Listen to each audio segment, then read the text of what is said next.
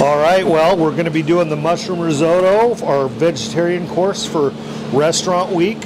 We have a blend of cremini, shiitake, and oyster mushrooms, a, a risotto that we've par cooked off, and two types of Parmesan. Well, what we're looking for on the mushrooms that we're sauteing is for them just to start to soften up, a little bit of that moisture to break out of them, and then we'll get the risotto in with it.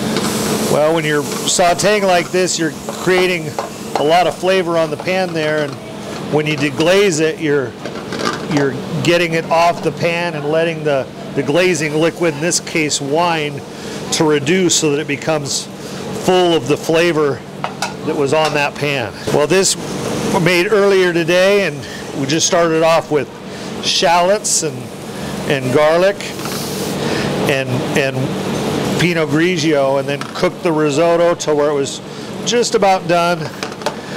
You're you're just getting it a little bit done ahead of time, just like at Thanksgiving when you're trying to prep ahead, so you're not sitting there cooking for 14 hours straight. Hit it with a little bit of Parmesan to melt inside it. We'll also top it with some shaved Parmesan. All right, we're just about ready here. It's smelling delicious.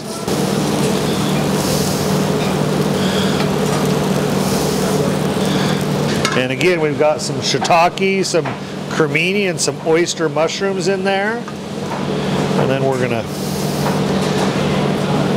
top it with some shaved Parmesan. And there's our vegetarian dish for restaurant week, the wild mushroom risotto.